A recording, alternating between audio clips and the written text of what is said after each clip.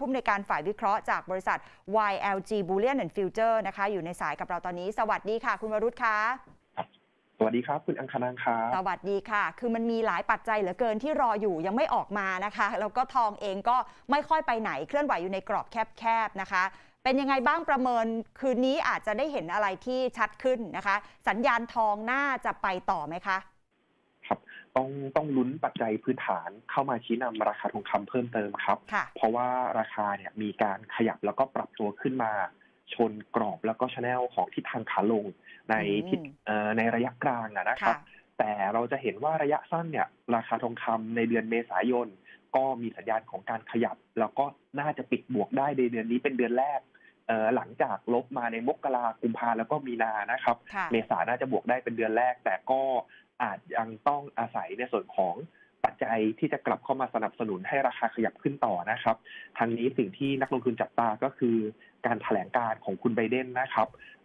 นักลงทุนก็จับตาดูในส่วนของแผนกระตุ้นเศรษฐกิจ รวมทั้งดูท่าทีต่อการ ขยับหรือการปรับขึ้นภาษีค่ะในส่วนของตัวแคปิตอลเกนด้วย ว่าจะมีสัญญาณแล้วก็มีทิศทางเป็นอย่างไรในคืนนี้นะครับ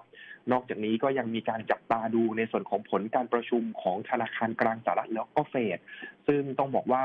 ณปัจจุบันตัวเลขยอดผู้ติดเชื้อโควิด -19 ในสหรัฐ มีสัญญาณของการปรับตัวลดลงอย่างชัดเจนนะครับค่ะเอ่อ New York Times มีการรายงานตัวเลขยอดผู้ติดเชื้อใหม่ต่อวัน ต่ำกว่าระดับ 50,000รายนะครับณปัจจุบันหลังจากต้นปีหรือว่าช่วงเดือนมกราคมเนี่ยสูงกว่าระดับ 2 0 0แสนรายต่อวัน แนวโน้มผู้ติดเชื้อที่มีสัญญาณลดลงอย่างชัดเจนครับทำให้เมื่อวานนี้คุณไบเดนก็มีการออกมาแสดงถึงความภาคภูมิใจ ว่าสามารถควบคุมสถานการณ์ของไวรัสโควิด -19 ได้นะครับค่ะแล้วก็ยอดผู้เสียชีวิต โดยเฉพาะผู้สูงอายุลดลงถึง 80%อือฮึสหรัฐเองก็มีการประกาศ ให้ไม่ต้องสวมหน้ากากอนามัยในการออกมาในที่สาธารณะในบางรัฐแล้วนะครับค่ะประเด็นดังกล่าวทำให้มีการคาดการณ์ครับว่าสหรัฐเองพร้อมที่จะมีการเปิดเศรษฐกิจ แล้วก็เศรษฐกิจของสหรัฐก็น่าจะมีสัญญาณที่ฟื้นตัวหรือกระเตื้องขึ้นค่ะสวนทางกับยอดผู้ติดเชื้อรายวันที่ปรับตัวลดลง แนวโน้มดังกล่าวก็เลยยังคงเป็นปัจจัยตัวหนึ่งที่สร้างความวิตกกังวลต่อนักลงทุนครับ ว่าถ้าเศรษฐกิจสหรัฐดีเฟดเองก็อาจจะมีการส่งสัญญาณในรูปแบบของความเชื่อมั่นต่อภาวะเศรษฐกิจในอนาคต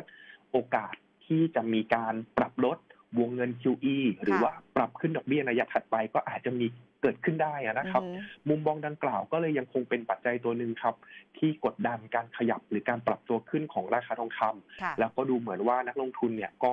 จะ เพิ่มความระมัดระวังในการสะสมทองคำเพิ่มในช่วงนี้ เพื่ออมรอดูสถานการณ์ ความชัดเจนค่ะในฝั่งสหรัฐก่อนครับค่ะ คือฟังซุ้มเสียงของคุณวรุษแล้วมันออกไปในทางจะลง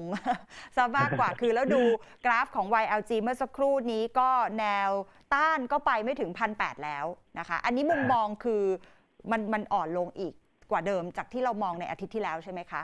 อ่าใช่ครับ ค่ะ เนื่องจากโซนแนวต้านสำคัญในโซน 1,800 เหรียญดอลลาร์ต่อเทรดออน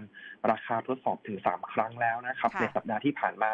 ไม่สามารถยืนได้ แล้วไม่ผ่านก็อ่าเราเห็นแรงขายทำกำไรระยะสั้นสลับค่ะ กลับลงมา